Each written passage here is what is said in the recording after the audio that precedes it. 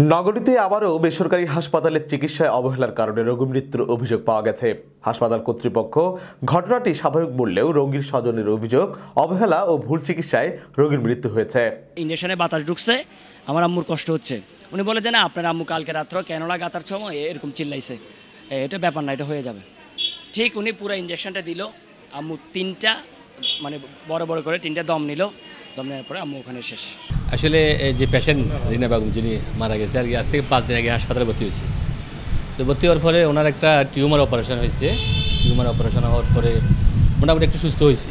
গতকাল ডাক্তার দেখেছে, বলছে যে আজকে হয়তো এরা রিলিজ দিয়ে দিবে। আজ বা কালকে রিলিজ দিবে, মোটামুটি ইমপ্রুভ হচ্ছে। সকালে ফার্স্ট আওয়ারে ওই একটা ইঞ্জেকশন দেওয়ার কথা ছিল। সেই ইঞ্জেকশনটা দিতে আসছে। ওই আসলে আসার কথা ছিল নার্স। নার্সের পরিবর্তে ওনাদের একজন ওয়ার্ড বাই ইঞ্জেকশনটা পুশ করছে। তবে প্রতিষ্ঠান সংশ্লিষ্টরা বলছেন ভিন্ন কথা।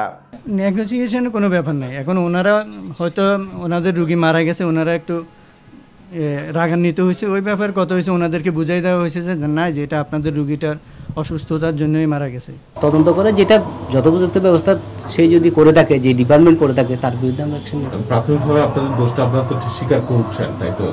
দোষটা স্বীকার করছি মানে যেহেতু ডাক্তার ছিল এই মুহূর্তে যে ডাক্তার গেছে বলতেছে। এ ব্যাপারে ঘটনা সত্য হলে প্রতিষ্ঠানের বিরুদ্ধে ব্যবস্থা নেওয়ার কথা জানান জেলা সিভিল সার্জন। এর বিষয়ে আমরা সেটা সিদ্ধান্ত নেব অথরিটি আমরা তো আর ওয়ার্ড ওয়াইড বিরুদ্ধে ব্যবস্থা নেব না ওই প্রতিষ্ঠানের বিরুদ্ধে আমরা ব্যবস্থা নেব যদি ঘটনা সত্য হয় এবং পার্টি অভিযোগ করে। এর আগেও চট্টগ্রামের চকবাজার থানার আওতাধীন বেসরকারি এই ক্লিনিকের বিরুদ্ধে সাবেক বৈদেশিক কর্মসংস্থান মন্ত্রী নুরুল ইসলাম বিএসসির ভাতিজির ভুল চিকিৎসায় মৃত্যুর অভিযোগ উঠেছিল।